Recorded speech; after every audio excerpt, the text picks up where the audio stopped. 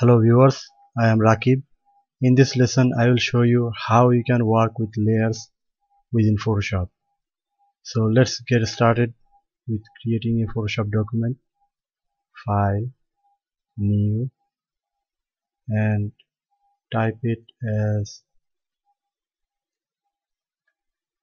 working with layers and set it to default Photoshop size or set it to default Photoshop size and then change this units to let's say 2000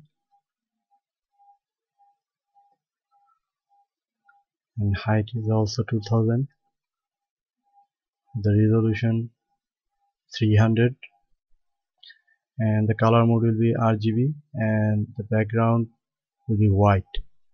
So let's click OK. So we get our canvas. And now you can see the we got default background and a layer that's locked.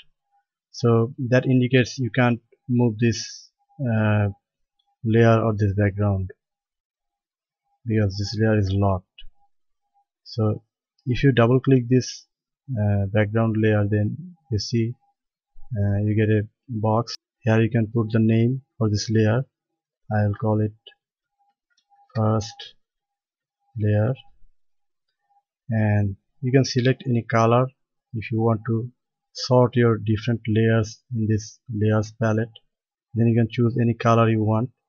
And blending mode and opacity uh, uh, some different options. I will uh, discuss them later in this lesson but not now. Uh, let's uh, choose this uh, as none. I don't need colors right now. You can click OK. And now you can see uh, this background has converted into a regular layer. And now if you want you can move it like this. Let's get back to the normal. And if you want to insert some image in here then you can drag and drop like this. Reshape this. Like this and press enter. And now you can see uh, we have inserted this image as a smart object and um, we got another layer containing this smart object. So we can rename this layer double clicking here. We'll call it image inserted. So that's our second layer. And if we type here with type tool this is text. And increase this a little. Then uh, you can see we have got three layers. So in these cases Photoshop is creating layers for us. In the most cases Photoshop will create layers for you but uh, in some cases you need you will need to create layers by yourself and then you can uh, put some graphics on it. Let's uh, let's see how we can create layers uh, manually. If you click here then you can see we got a new layer. You can uh, create some other layers like this just clicking here. And uh, right now you can see these layers in the layers palette but you can't see anything here because these layers are empty and um, you can uh, put some graphics or anything within these layers.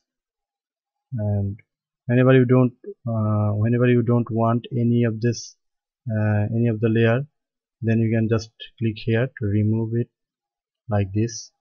You can also uh, whenever you think uh, any of the uh, background or graphics that you don't want to change move or anything then you can uh, send it back to locked once again just clicking this lock. This will not allow the move or any, uh, some other changes right now.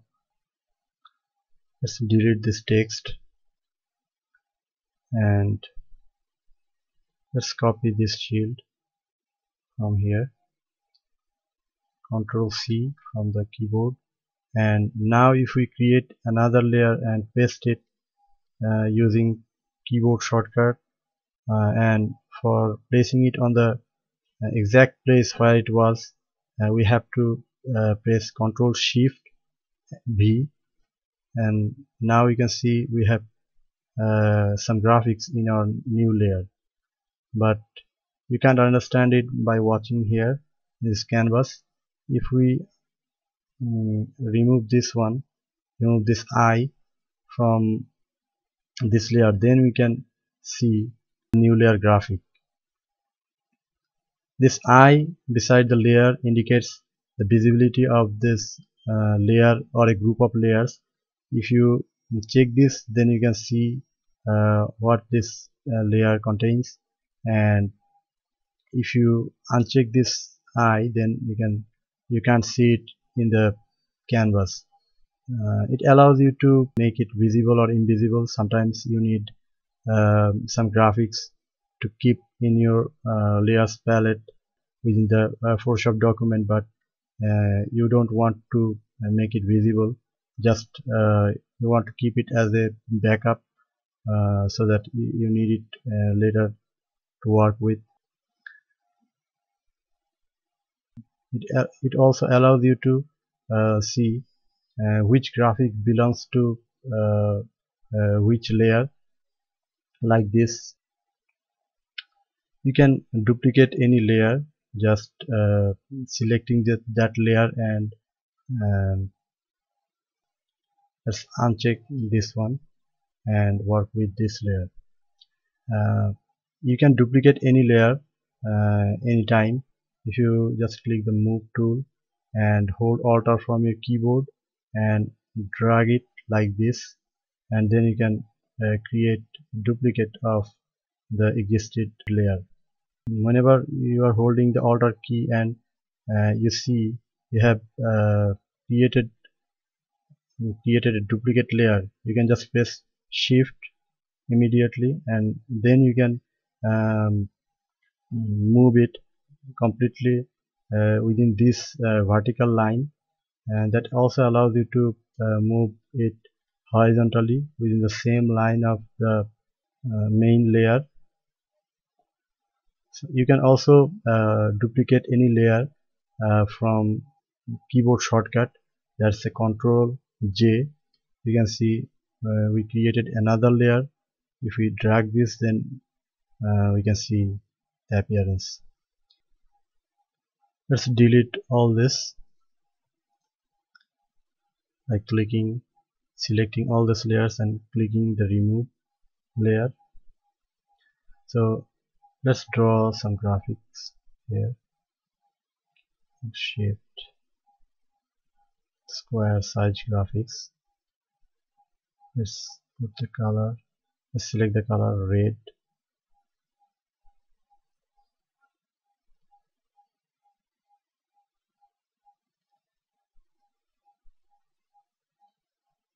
like this. Let's duplicate this layer and change its color which will be green. And one more layer. It will be dark blue. So here is our three different layers mm, if we see uh, the blue color the blue colored shape is on top of all the other shapes uh, you can see you, you, can only see this uh, square completely because this this is in front of all the other layers. If you uh, just uh, focus on this layers palette then you can see it's on top of all the layers that's why it's in front of mm, the other graphics. Uh, because this positioning of uh, layers uh, gives priority uh, on this canvas. The one that's on the top will will be uh, given the highest priority and then the next and then the others. So if you uh, just drag this red color graphics on top then you can see right now it's on the top in the layers palette and uh, on the canvas is on top as well. And if you click this green shape once uh, green layer again and then drag it to position it on the second. And now you can see the green in front of the blue but um, the red is still on the top so that's how uh, positioning of layers in the layers palette. Values in this canvas. And you can also uh, merge several layers uh, whenever you want. If you think uh, you have created uh, a shape uh, from several individual layers or graphics and you don't need to edit them individually. You can just create single shape to work later. Then you can just uh, merge them selecting. Uh, these are vector shapes so I need to raster them. First rasterize layers. Mm, first I have to rasterize them and then I have to uh, merge them. Right click merge layers. Now you can see it's uh, the three layers are gone and it, has converted into a single layer. Now you can move it uh, it will treat as a single layer. So like this uh, you can merge any uh, multiple layers together. Let's close this file now. And let's see some other uh, things on about layers. Uh, as you can see there are several graphics uh, several shapes text so this will create uh, so many layers in the layers palette.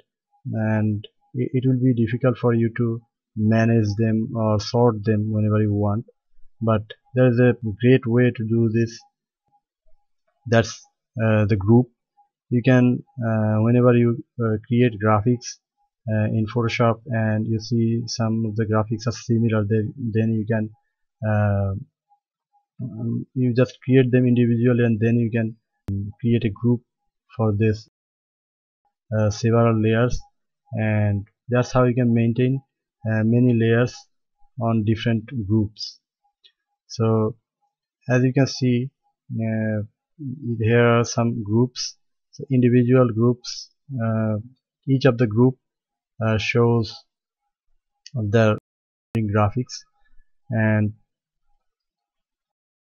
if we try to move it selecting group and try to move it then we can see uh, we are moving the group. Let's get back to previous position. And if we select any of these groups and just click here and then you can see uh, the inside graphics uh, within the group uh, like this shape. And within the group you can also see another group if you click here then you can see some text that belongs to uh, the inner group. Uh, when it's grouped you can ungroup it. Let's see the ungrouping first. Uh, they are grouped. So if we right click any of the groups then select the ungroup layers then you will be able to see the mm, contents of the uh, the contents of that group is now ungrouped. And you can uh, again uh, group this by pressing ctrl G from your keyboard. That's uh, for grouping. Whenever you want any of the uh, set of layers uh, to group together you can just pick those layers together and press ctrl G from your keyboard and you will see that's grouped together you can even make a group group for several groups. Like if we select all the groups from here and press ctrl G from our keyboard that will make a group which will contain all the other groups. If we uncheck this then you can see uh, all those uh, um, all those groups are uh, inside of our new group so the, in this way you can group or ungroup your uh, several layers or different groups. Another important thing about layer is the blending mode which is here. By default you will see it as normal. Let's select this select it to let's select it to layer and move this graphics in front of uh, this shape and select this shape and rotate it like this. Let's press zoom in a little and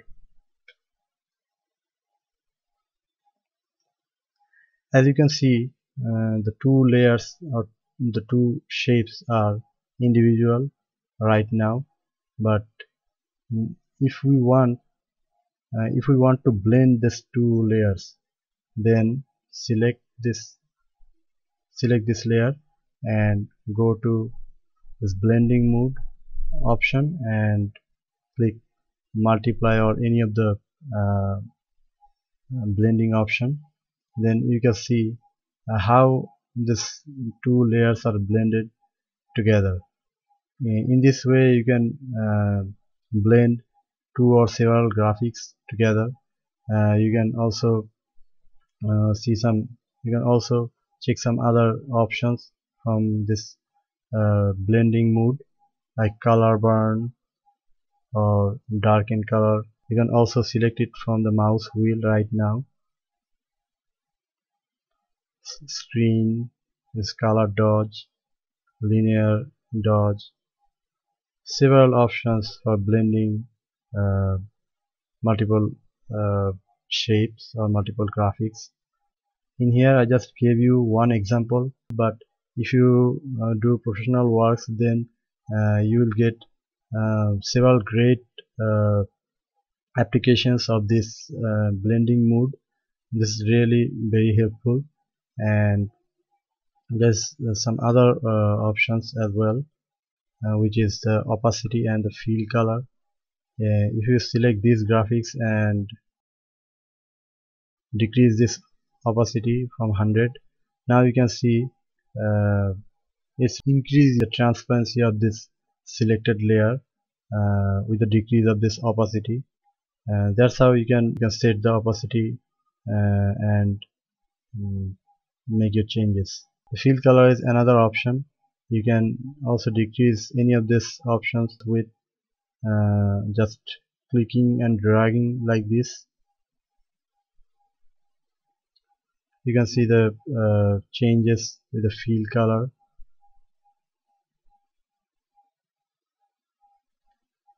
So that's all about layers. I hope you guys enjoyed this video. Hope to see you guys in the next lessons. Thank you